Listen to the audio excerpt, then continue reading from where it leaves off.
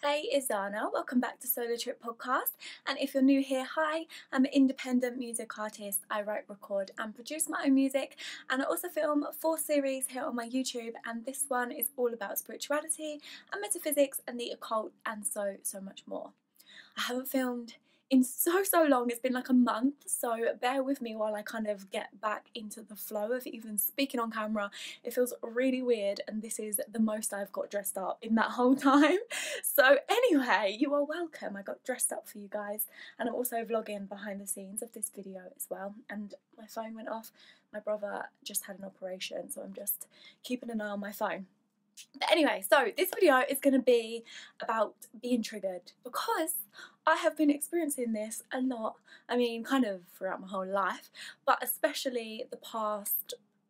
Mm, my whole life. I was going to say more like the past few weeks, but not really. I feel like it's always happened and it happens to a lot of people is that we get triggered by other people's perceptions, other people's words, other people's actions, just everything. I mean, you can literally go on social media, scroll down the feed, and get triggered by the most randomest shit. So it happens to all of us all the time, and I want to talk about how to not stop it from happening, but just how to change the way you react to things because we can't change the way people behave and even kind of like the situations we witness and stuff. Sometimes you can't avoid the fact that you're going to witness it.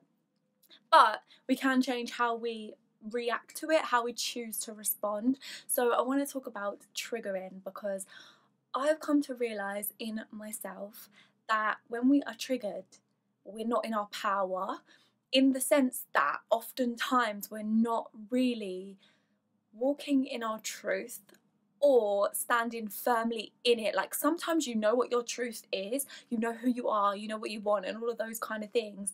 But then somebody else can say something that kind of opposes how you view things or even opposes how you intended something to be like they could take it the wrong way or something and that can cause us to feel so triggered because we feel like we need to either explain ourselves or like when it comes to your power and your personal truth, sometimes people are triggering you because you're not fully standing in it or not fully like confident in your truth and in who you are, if that makes sense. So, this has happened to me a lot. A lot, a lot. Even more recently, um, I won't delve into every kind of like personal experience, but it's even happened um, through my business. Like through everything that I'm doing online and stuff, I've had certain things happen that would trigger me and make me kind of question myself and my path, question my intent, question like what I'm even doing and why I'm doing it and stuff, you know, when it comes to what I'm putting out there and the music that I want to make, the quality of it. Like a lot of unworthiness can come up and stuff, especially when you're triggered by something. It can usually stem from a feeling of unworthiness or like self doubt and those kind of things. So I've really come to realize that it's actually about really getting comfortable in your authentic truth because once you are so secure in yourself, what other people say and do will not be able to shift you out of that. It won't be able to make you doubt that because you'll be so secure in it and so sure of it that even when you kind of feel sad or feel like whatever kind of emotion comes up in that triggering, even if it makes you feel a little bit low, it, you're not going to believe it. Do you know what I mean? And sometimes I really would believe it, and people would say things, and I would just like swallow that whole mirror and take it on as my own, as if that's the truth of who I am.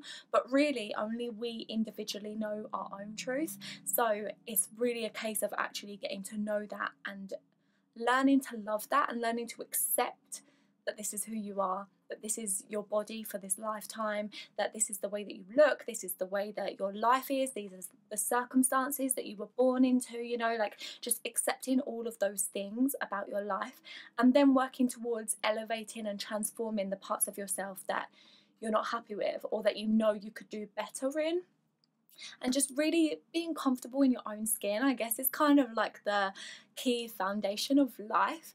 And sometimes we get triggered because we're not we're not comfortable in our skin we're not accepting of who we are and we wish that we could be something else or that we had something else you know especially when it comes to um, lifestyle and things like that or success. You can see that online or even relationship goals. You can see all of those things and it can instantly put you in lack mentality because you feel like you don't have it you're not good enough to get it you're never going to achieve it and those kind of things. And all of that is a trigger so we have to be able to work through those wounds to understand the belief that we actually hold around that particular subject so that we can start to reprogram those beliefs. And for me, I feel like the foundation of our belief system really starts with our sense of self not just our sense of self individually, but also collectively. So, like the idea of oneness, and just really coming to terms with both of those. I guess it's like corresponding duality thingies as above so below you know like coming to accept both of those um, laws or truths as being real at the same time and then yeah just learning to love yourself i guess but obviously this is a long process and a lifelong journey and stuff so it's not like you're just going to flick a switch and just be there or anything but it's just something to be aware of is the fact that if you want to change your beliefs and if you want to stop getting triggered by certain things the like best place to start with that is your sense of self. It's your relationship with yourself, how much time you spend with yourself, just allowing yourself to be who you are, you know, and also getting to know who you are and learning to embrace that and accept that and almost like that in a way. so, yeah.